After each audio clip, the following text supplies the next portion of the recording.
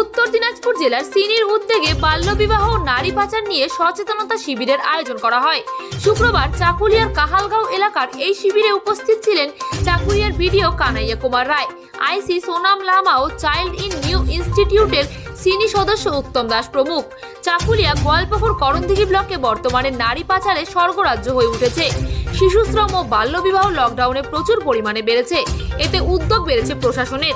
এই দিন সচেতনতা বাড়াতে শিশু, কিশোর, কিশোরীদের সহ অভিভাবক ও অভিভাবকদের সবাই হাজির করানো হয়।